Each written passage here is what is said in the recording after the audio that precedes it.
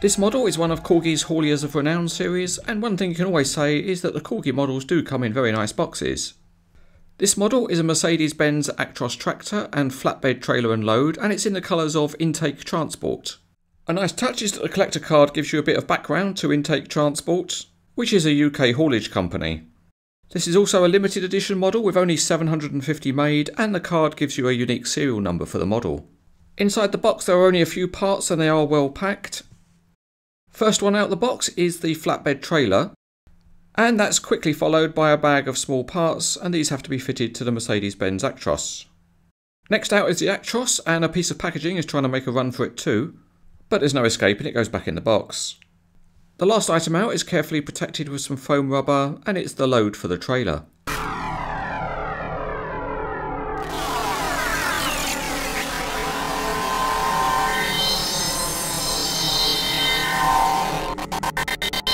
It's into the workshop to get the parts fitted to the Actros and there are quite a few mirrors so the first one goes in front of the cab and that's swiftly followed by the main passenger side door mirror. The cranes etc fitters are really humming today so the other mirror goes straight in above the passenger door and it's wham bam thank you ma'am with the mirror on the driver's side.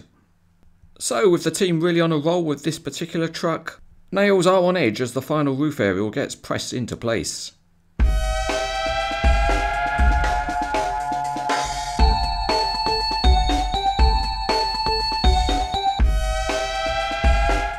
Corgi chassis are usually simple and that's certainly the case with this one. The transmission is modelled but there's no steering detail at all. The tyres are the same on all wheels but the wheels are quite smart looking. Detail on the roof is good with a light bar and beacon lights. The door mirrors have a chrome backing and the graphics on the cab are a reasonable representation of the real truck. One particularly nice detail is the artwork on the back of the cab which shows the Forth Rail Bridge. At the back there are flexible mud flaps and a nice intake transport graphic. The flatbed trailer is a simple model and that starts underneath with the trailer, and it has that slightly unusual dimpled finish on the underside. The fat tyres are good and they're mounted on nice looking wheels. The deck is entirely metal and the wood effect finish is achieved by painting. And there is some detailing achieved by graphics on the side. And more graphics are used for the fleet number on the deck edges and there's a tiny Scottish flag on the number plate. The load is good looking, it's a solid piece made of resin, and there is a part number stenciled on the beams.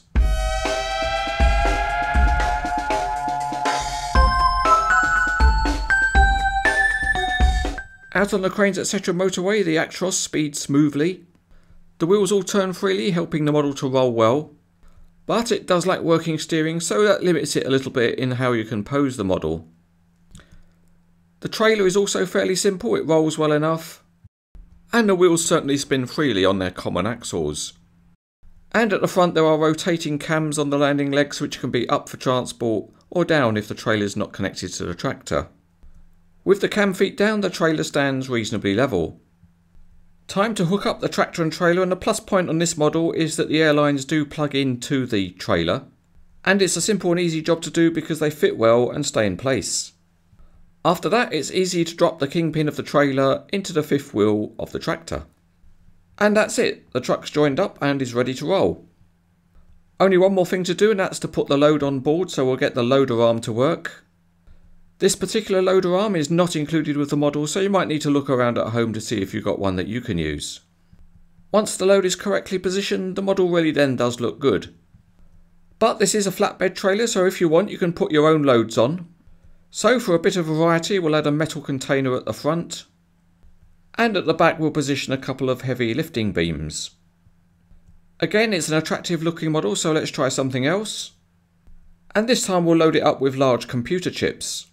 And for older viewers this harks back to those times when to carry around portable electronics you really needed a truck. Overall this model plays to Corgi's strengths which is to provide a very good looking model. It's a solid model with good details, but it's not highly functional as there are few working features. But it's an attractive model and is recommended.